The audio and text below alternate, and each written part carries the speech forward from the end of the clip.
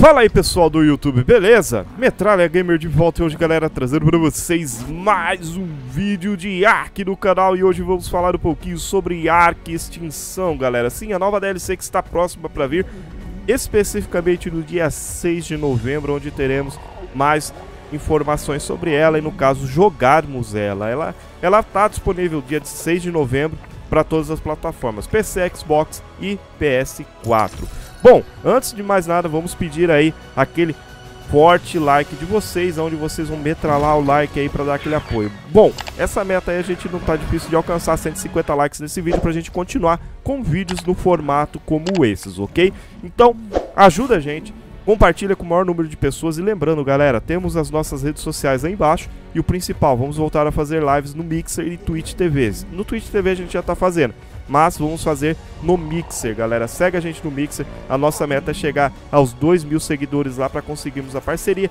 e trazermos mais conteúdos para vocês, sorteios futuramente, ok? Então, bora pro vídeo. E hoje vamos falar um pouquinho sobre o que vem nessa nova atualização da DLC. Bom, uma das coisas que estão especulando são as novas criaturas, mas decorrente de todo esse entusiasmo do, do Extinção, o pessoal vem colocando várias atualizações que no total foram cinco. Cinco atualizações que são, no caso, né, são chamadas de Extinção Crônicas, ou Crônicas da Extinção, no caso, né? E cada uma tinha um número. Tinha a Crônicas da Extinção 1, 2, 3, 4 e a quinta que foi lançado há pouco tempo atrás. Uma delas, a primeira que foi lançado, eles lançaram três notas de exploração e o capacete corrompido e o Tech Rex no mapa, que era uma coisa que o pessoal tava pedindo bastante. O pessoal tava pedindo para soltar o Tech Rex aí pra gente estar tá domando. Então, agora está disponível para vocês estarem colocando. Pô, Metal, mas isso aí faz tempo então. Mas vamos lá. O Extinção Crônicas 2 foi lançado também mais três notas e foi colocado as botas corrompidas e o Tech Estego também para estar tá sendo domado. Nossa, muito top isso daí. E depois a Tech 3, né? No caso Tech 3 não, a Extinção Chronicles 3. Nos lançamentos foram três notas também, né? Porque cada uma tem a sua nota. E foi lançado também as calças corrompidas e o Tech Raptor. Nossa, muito top o Tech Raptor. Não sei se vocês viram andando pelo mapa aí, mas está disponível também para tá domando.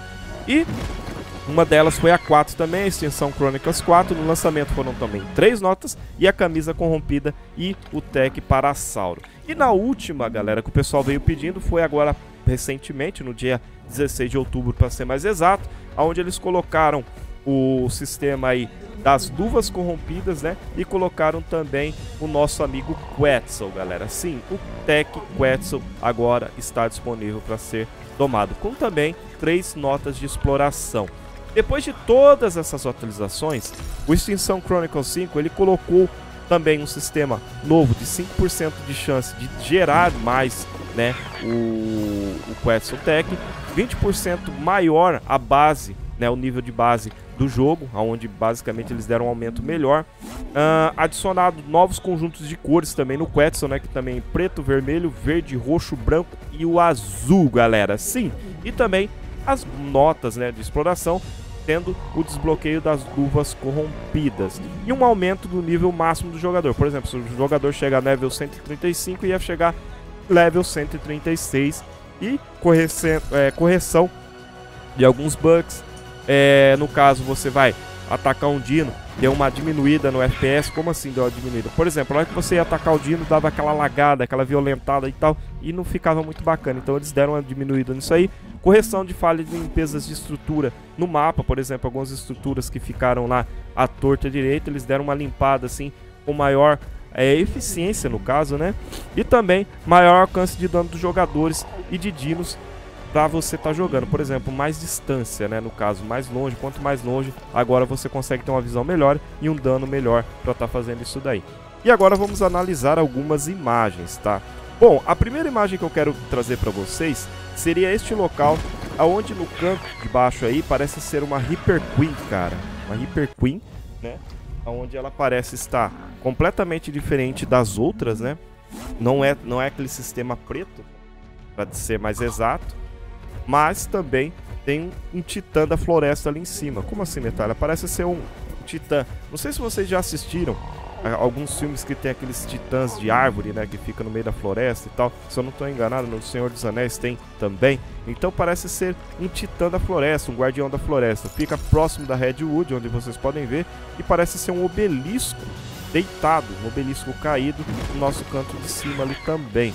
E um dragão voando, um dragão de fogo ali, mas não tão grande quanto o que a gente está acostumado. Parece ser um, um dragão menor, né? Isso daí é o que eu percebi nessa imagem. Bom, a outra imagem que eu percebi foi o seguinte: essa outra imagem parece ser uma águia, né? Diferente daquilo que a gente está acostumado.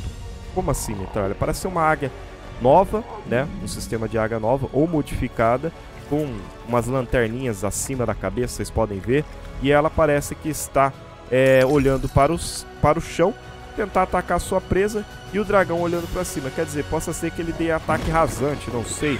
Vamos ver isso daí no dia que lançar o mapa, ok? Então, isso daí foi uma das imagens que eu trouxe para vocês. E as outras, galera, parece ser um pântano, né? Uma área pantanosa, essa parte aí, com algumas estruturas acima e também com algumas criaturas parecendo como se fosse mutadas, né? Como assim, é uma modificação do próprio cenário, algum sistema como a, aconteceu na aberração, um vazamento nuclear, onde fez as mutações das criaturas, onde eu circulei tem algumas criaturas mudadas e algumas outras no fundo do mapa, beleza? E a uma coisa que me chamou muita atenção foi essa criatura maior ao fundo. O que parece ser uma criatura gigante, não é tão pequena, né? Comparado ao tamanho das outras criaturas. Ele está bem longe, bem no horizonte, mas representa ser uma criatura enorme voadora. Não sabemos se pode ser domesticável, como que vai ser, o que, que vai ser essa criatura, mas uma nova criatura voadora está por vir aí. Bom, e uma das coisas que me chamou também a atenção é o Titã do Gelo, galera. O Titã do Gelo, ele é um bicho aí que não sabemos ao certo se será domesticado, mas sabemos que com sua aparição ele fará com que todos os itens tecnológicos comecem a falhar, como GPS, ou dependendo da situação, acho que até torreta, eu acho que ele solta algum sistema de radiação que faz com que todos os sistemas falhem. Isso daí é uma suposição do tio Metralha, pelo que dá a entender no trailer, ok? Então possa ser que não seja isso, mas vamos ver no dia do lançamento. E o principal, galera, é que tem mais algumas criaturas aqui que você podem ver, ó. Ele parece ser um largato menor, que está indo de frente com o Giga, mas ele é um sistema tech, onde ele tem defesa própria, um sistema cibernético modificado com um tecido de criatura, né? no caso a criatura, com um tecido cibernético cobrindo seu corpo, onde ele pode também estar tá atacando suas criaturas. Isso daí também será revelado mais em breve. Bom, podemos ver aqui também, não sei se é o de Morfodon, essas criaturas, possa ser que seja, mas elas parecem que estão um pouco maiores, né? Um pouco maiores do que a gente está acostumado a ver.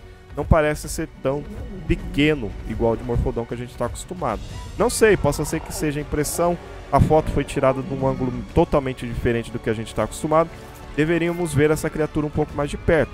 Mas estou bem ansioso para estar tá vendo essa criatura também. Quem sabe aí uma nova criatura montável, um novo voador, né, galera?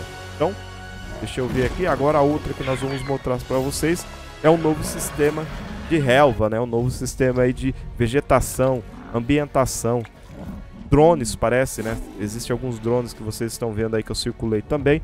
E uma relva nova, não sei. Vamos ter um sistema totalmente modificado, um sistema mais voltado para tecnologia mais avançada, né? Uma tecnologia mais extraterrestre, aonde pode ser que, mano, mude completamente o sistema do jogo. Muitas pessoas vieram me criticando e falando o seguinte, Metara, o Ark é um sistema de dinossauro. Não sei por que ter um sistema aí todo tecnológico. Mano, o Ark nunca foi um, um, um jogo pré-histórico, focado somente num sistema pré-histórico. Por quê? Porque a partir do momento daqueles implantes no braço, um sistema de criação, onde você aprende os engrames, onde tem um sistema novo, isso daí, cara, é um sistema alienígena onde foi raptado os seres vivos para fazer essas experiências. Isso é o que dá a entender quando você zera o jogo, né? Então, bora lá. Aí agora, o último, o último que eu quero mostrar para vocês aí, e não muito importante, lógico, é muito importante sim, galera. Hoje teremos a revelação de mais um bicho. Sim, às 19 horas no canal oficial do, do, do Xbox, no Mixer, e também do, no canal do Tio Metralha, no, no, Mixer também eu vou estar tá retransmitindo a live no canal do Tio Metralha. às 19 horas, hoje teremos a informação de mais um novo dino, galera. Sim, um nova, uma nova criatura será revelada hoje, a partir das 19 horas, horário de Brasília. Bom, vou mostrar a foto de um conceito arte. Bom, galera, eu achei aqui. O que me aparenta ser vai ser essa criatura e vai aparecer hoje. Eu tenho quase certeza pela semelhança da foto, pela semelhança do bicho. Uh, ele parece ser uma largata gigante, né? Uma, um, uma largata ou até mesmo um... Sei lá, cara. É, meio, é bem estranho mesmo. Vocês podem ver que ele é uma largata bem gorda, com um rosto, parece um tartaruga, sei lá, uma mistura bem diferente de bicho.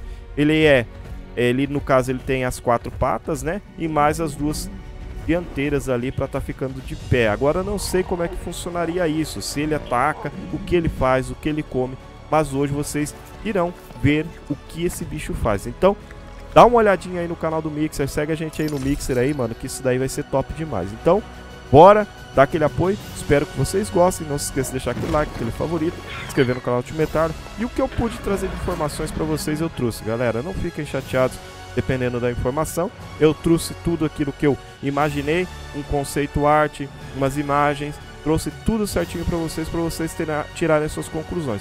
Os comentários estão abertos para vocês estarem dando as suas opiniões, para a gente debater um assunto bem bacana, ok?